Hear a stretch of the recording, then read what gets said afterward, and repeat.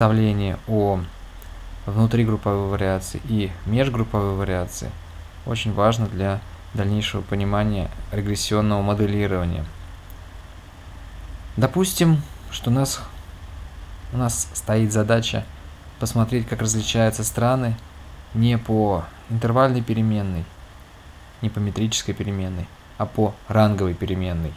Допустим, это удовлетворенность трудом.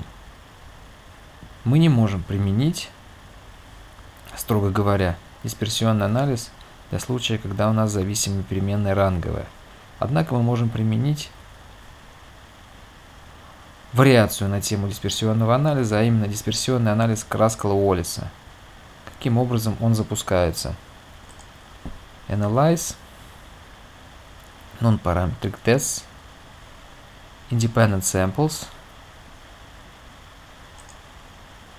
Customize Tests, Kraskal-Wallis, Fields, Country и удовлетворенность трудом сейчас я ее найду. Для этого сортирую в алфавитном порядке и причем по имени переменной, а не по лейблу. Вот и переменная how satisfied with job.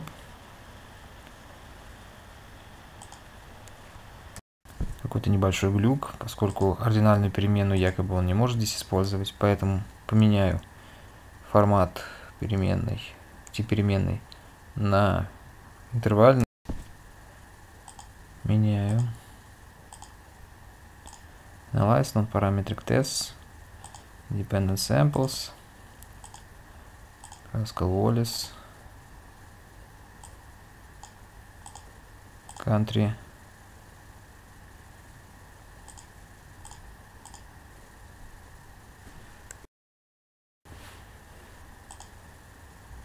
Запускаем.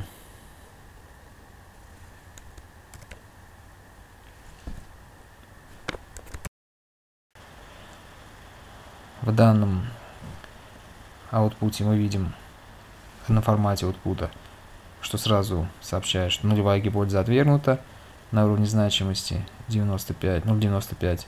Focus significance меньше 5 сотых. Можем зайти в эту табличку и посмотреть, как распределились наши страны